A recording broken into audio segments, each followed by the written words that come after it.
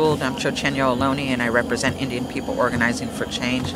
And we're at Sogorea Te', one of the my ancestors' uh, cemeteries um, and burial sites, a place that we have come to defend against development today. And so, um, one of the things that we've been doing for the last 10 years is going to meetings, talking about their environmental impact reports, asking them not to desecrate the site, and to um, and to leave it as it has been. Um, and so, one of the things that they've always said, the Greater Vallejo Recreation District, is that they are going to protect and preserve our sites.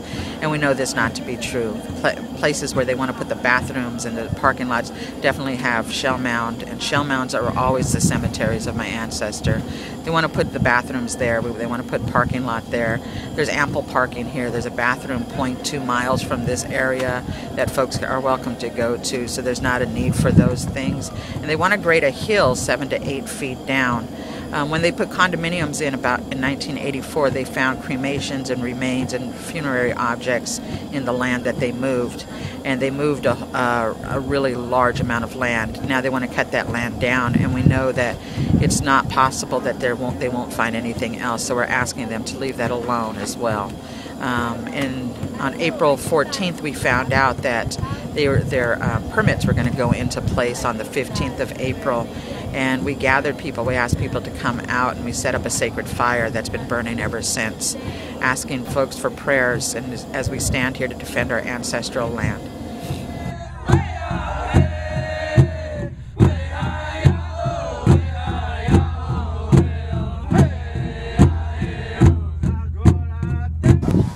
My name is Morningstar Gali. I'm Achumawi Band of Pit River.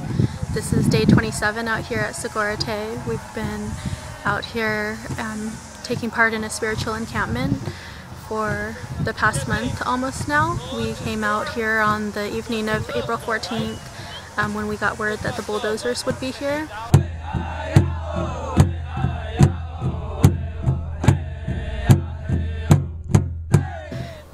The significance of the Sogorea shell mound is that it's one of the handful of the remaining shell mounds that's left um, partially intact here in the Bay Area. It is 3,500 years old. Um, there are, it's known, it's, it's never been questioned that this is a culturally sensitive site, that this is a burial site. The cove, um, the actual cove, is one of the um, narrowest lake straightaways to where a number of the tribal nations came to meet and to trade and to gather. And so it's a place where the Patwin peoples, where the Miwok, Ohlone, Wappo, um, Yokut people all came together um, for trading and to take part in ceremony. And so I'm here um, as an Achumawi person because I feel that it's it's important um, as a California person to be here and take part in the support of our brother and sister, our brothers and sisters that are holding it down.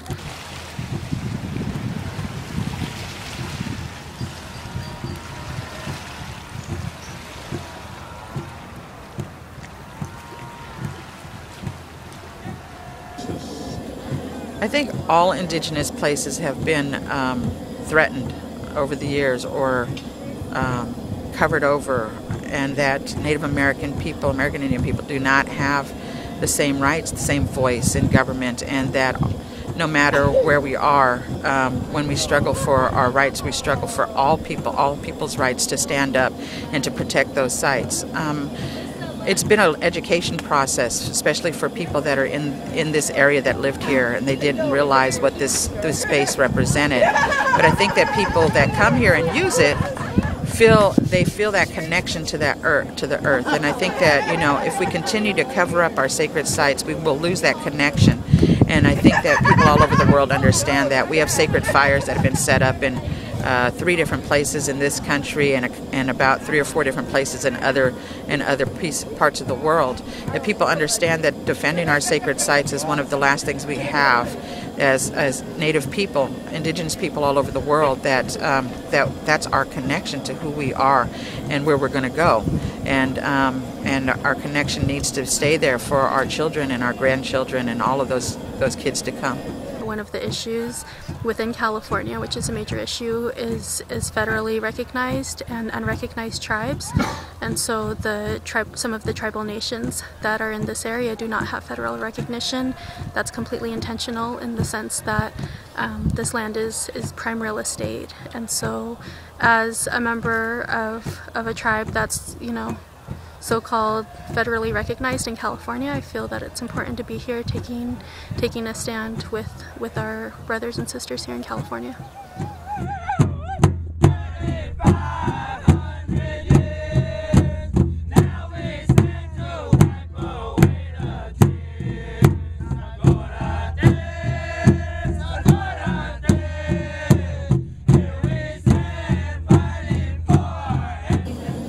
We're asking folks right now, we're going through a bunch of different things. We're trying to set up mediations between the Department of Justice, the Native American Heritage Commission, to ask them to send letters of support to Native American Heritage Commission as well. I don't think that the Native American Heritage Commission realizes how many people are in support of defending this land and not changing it.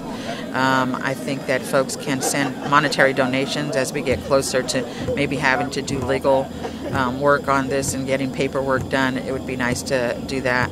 Um, we have a group of about 25 to 30 people that are staying on site, and folks want to come out and support in that kind of way, um, just to be on the land to protect it in that kind of way. We welcome folks to come out, uh, be a part of this defense and uh, and prayer, and as as we defend this place.